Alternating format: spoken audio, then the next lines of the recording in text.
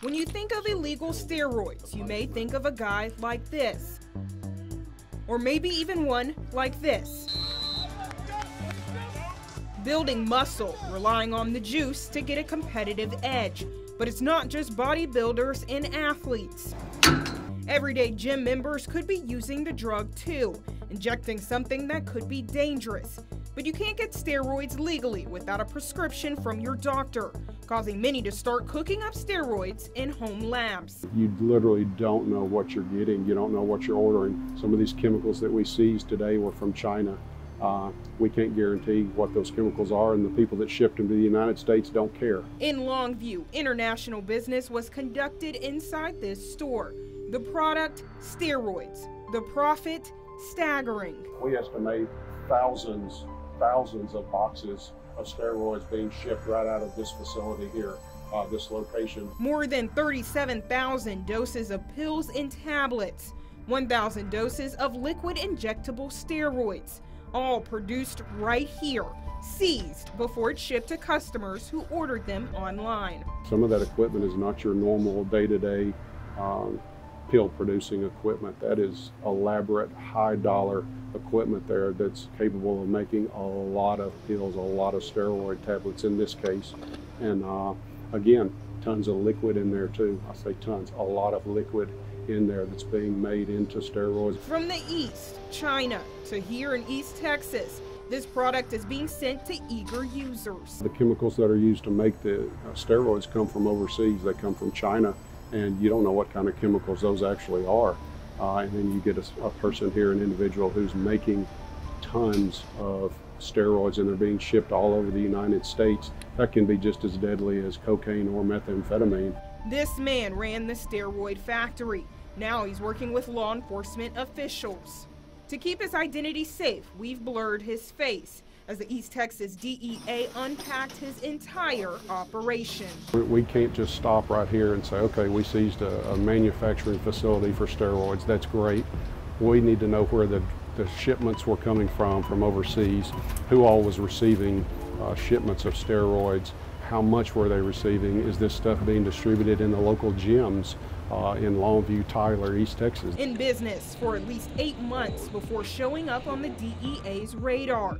So how did he get caught? We can uh, track things like purchases and uh, deliveries, shipments, that kind of thing. Uh, and with this type of unusual uh, production, it's a little easier to follow than methamphetamine or cocaine because it flies under the radar uh, with all the equipment and uh, powder and liquids that have to be shipped and mailed. It's a lot easier for us to track that way. So eventually, uh, they're going to get caught. Using the Postal Service. The dealer had a regular routine. He would drop off packages containing the illegal steroids to be shipped from the Longview facility. The most common illegal source comes from smuggling steroids into the United States from other countries like Mexico, Europe, and in this case, China. Shipments coming from and going to foreign destinations monitored closely by the feds. Why weren't more people getting caught? One reason no prescription is required for ordering illicit or synthetic drugs online. That is taking place right here in people's backyards and they don't know a thing about what's going on. Here's what makes them so dangerous. Uh, as long as people keep shooting this stuff in their arms and taking the pills, it's deadly. It's, it's super dangerous.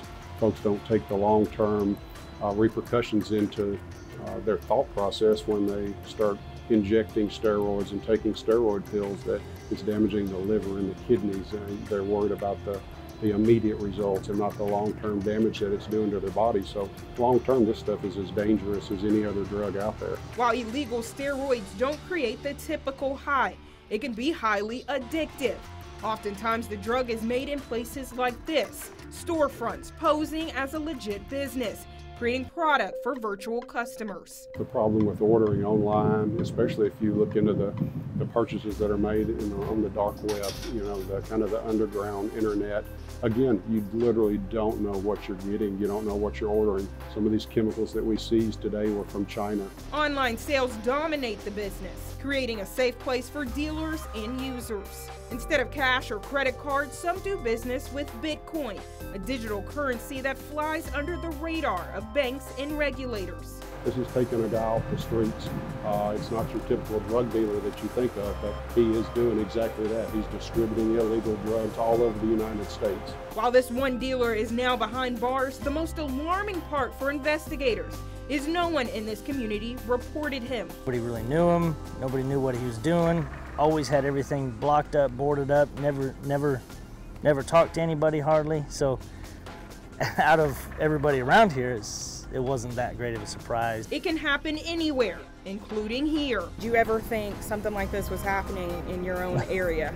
no, not here, no. Driving home the saying, see something, say something. The quantity of what we've seized today will be analyzed and that quantity will determine what kind of sentence that he, he'll be facing. You know, obviously, the more the more time in federal penitentiary he's going to spend. Also the type of drugs.